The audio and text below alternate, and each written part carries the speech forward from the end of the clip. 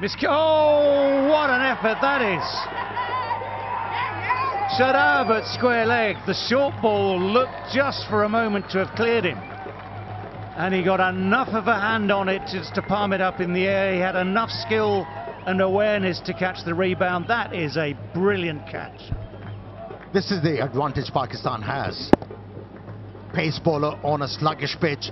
They are rushing the batsman. That ball zipped through and what a take. What a take from Shadab. The Pakistani team ecstatic. They needed a start like this with the ball. So very, very athletic. And yet another disappointment for Afghanistan at the top of the order as the captain leaves the field disconsolate with none to his name and the scoreline ominous at four for three.